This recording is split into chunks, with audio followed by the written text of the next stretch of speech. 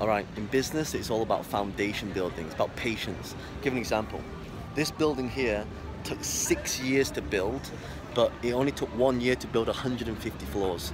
So what I share this with you is because a lot of people when they start business, they don't have the patience to follow through. Right? Don't always rush into business. Yes, you must take massive action, but you must also plan. So the three rules are number one, plan what you're going to do.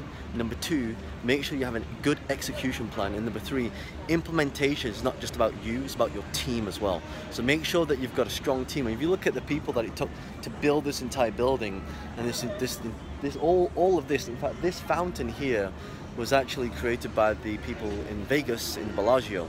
So you need a whole team of people building things and it's not just you doing it, right? Because if it's just you doing it, it's very, very rare that you can get things done by yourself unless you're extremely self-motivated and you have a massive why.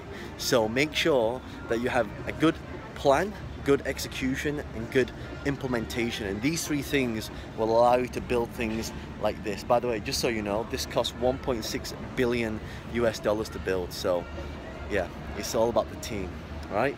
Make sure you do those three things and you become a lot more successful and I'll have a lot more higher chance of succeeding. If you like this do me a favor like comment and share. Subscribe to this video and I'll see you on the next one. Bye for now